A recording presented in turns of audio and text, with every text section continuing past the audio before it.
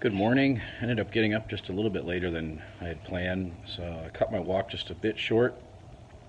I've been going just a little over three miles, but today I went about 2.4, something like that. So it was still a good walk, but I just, I like to make sure I have enough time when I get back, get a cup of coffee.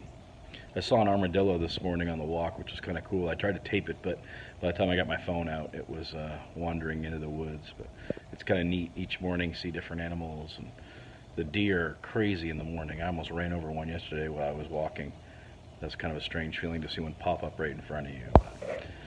I'm going to uh, go hit the showers and head to work here. Um, I've been doing a lot of reading about intermittent fasting and fasting in general and the health benefits of fasting. And I think that I'm going to attempt to fast here at some point. I'm going to do a 24 hour to begin with and see how that goes. But I think it'll be interesting to kind of document the uh, the effects, the positive effects from it. I mean, the, there's very little negative effects that come from fasting, if any at all. So I'd like to uh, to document the the positive effects I feel from it, especially from a gut perspective, and see how uh, see how different I might feel. So looking forward to that. That'll be to come here in the next week or so, I think. So see you in a bit. Bad. Good.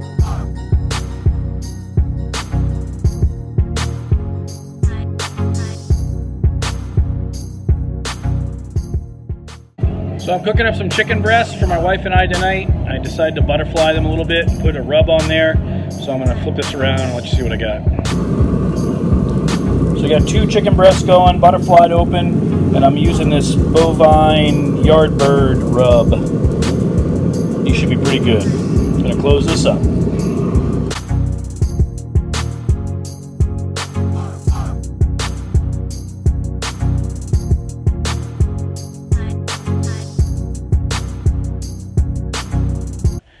I don't usually have a whole lot of time at night to be able to walk, so tonight I happened to get done dinner early. It's about 7.20 now, so I went on a short walk this morning, about two miles. I thought it'd be good to go grab a couple miles tonight while I can, sun's shining, so might as well get it done.